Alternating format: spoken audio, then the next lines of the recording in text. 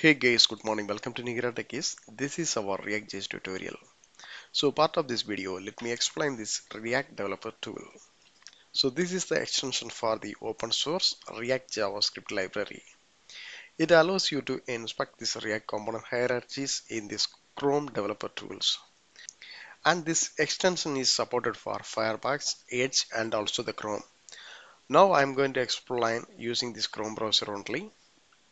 So currently I'm having one React.js application, it's in running mode. So you can see this output.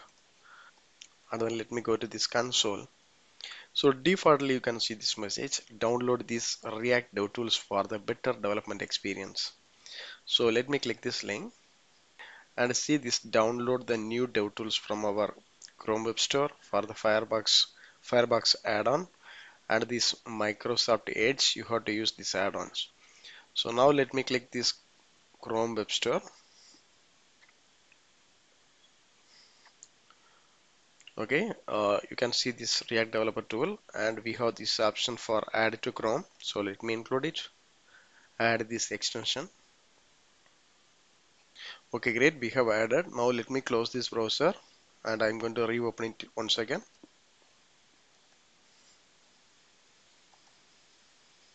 Okay, the browser is opened. Now let me open our application here. Now I'm going to inspect this once again. So currently you have to see this component option is enabled and also we have to see this profiler. So let me click this component. So it will show the complete hierarchy. The first one is app and the, inside that we have this browser router and then this router and this navigator something so it's loaded our app header. This app header is nothing but our app header component. So let me show you. Yeah, this is the one. Okay. So and also you can see the informations like what are the props actually we are using. So in this app header, I'm using this props title. Okay. And the next one it's rendered in this app component. Uh, the source file is app.js. Okay.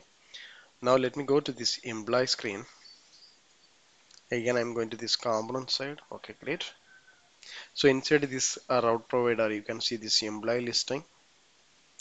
So if you noted here in this props we don't have any value but in the hooks we are using this fetch hook so if I'm expanding this one so inside the hook I am having these uh, state values.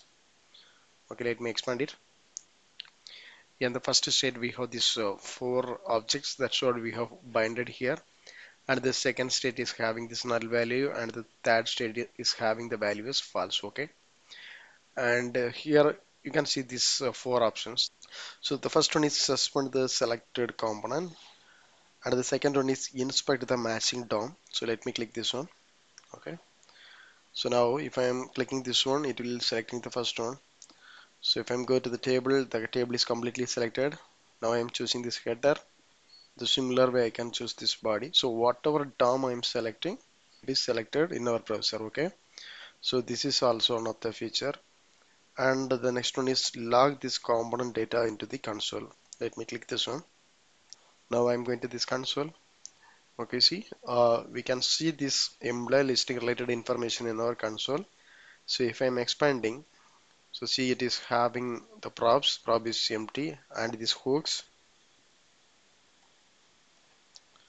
yeah so hook already we seen this uh, we are using this use fetch hook.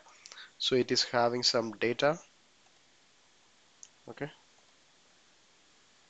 So we can see all the information okay? Okay the final one is view source for this element. So if I'm clicking it will give the complete source code. Okay this is the JS file employee listing. So so we can get the complete source code related information so in this way we can inspect any of the component the similar way we can check uh, if there is any data change also. Let me show you. I'm going to select this app component. This is our base component. Here we have see this uh, state. This is the react tutorial okay? Now what I'm going to do let me include one button. And the text is text change. Here I'm going to write on event on click. Title change. Okay. Now let me define this function.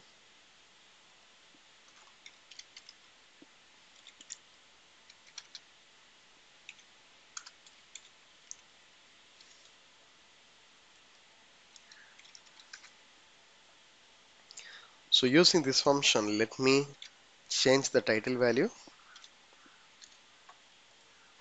so currently we have this react tutorial. So instead of that I'm going to give react tutorial for beginners okay?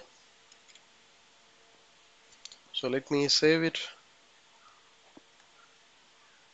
So you can see one button is included.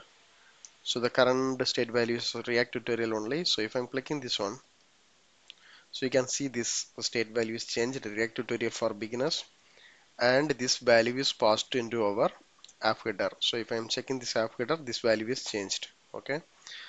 Let me show you. Initially this should be a react tutorial. So when I'm clicking this button these props and they are the state value. So everything should be changed.